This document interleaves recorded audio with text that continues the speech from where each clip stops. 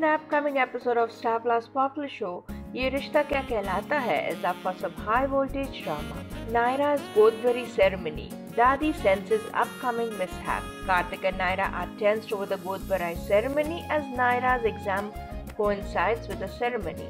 Naira is more tensed as she had made a promise to Dadi that she will not let her studies affect the pregnancy and the ceremony. Kartik consoles Naira and asks her to not be affected by this as he will handle all the situation. While here the Godhbarai ceremony will start and Naira Kartik will manage to reach on time, but Dadi is doubtful and upset. The ceremony begins while this ceremony will bring forth some clues of mishap and Dadi gets a strict over Naira and calls her that if any mishap will happen it will be because of her. Naira feels bad and and her fear seems to take over her. So, what do you feel about this? Keep watching our channel TV Prime Time for more such exciting updates.